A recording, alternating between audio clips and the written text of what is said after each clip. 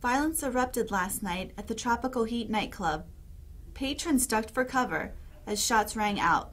One man, identified as Chuck Johnson, was shot and killed. Allegedly, he is an associate of the rapper B Bone. Witnesses say that Mr. Johnson had words with rival A Mays. Soon afterwards, the shooting started.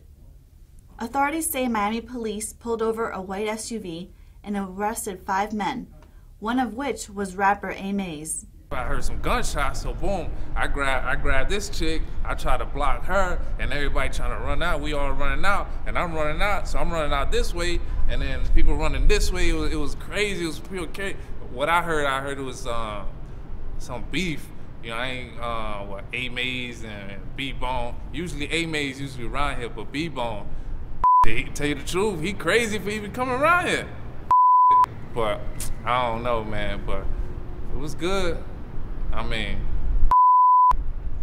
ain't nothing new to me. I, I see that every day, all day in the hood. You know what I'm saying? Well, I mean, I was having a really great time. I was with my girls and everything, and some guys started throwing money everywhere, and it was really cool. And then I heard Amaze was there, and I just, I'm a big fan. But then some guy came in and he started just shooting up everyone, and I mean, everyone ran outside, and it was complete chaos. And all of a sudden, people just started shooting. I don't know what was going on. But you know, A Maze and B Bone, they was in the house. And as soon as the people started shooting, everybody ran there. Were people running on the stage trying to get out, man. You know, I got out with my girl, and thankfully we got out safely. I think it was some beef going on between A Maze and B Bone. I don't know. I know it was real crazy that last night, man. An unidentified man was traveling with A Mays is now being held for more questioning.